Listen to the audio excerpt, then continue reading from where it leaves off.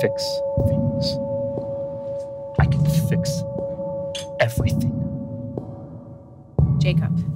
Jacob, look at me. What are you telling me? I'm trying to tell you I can save her.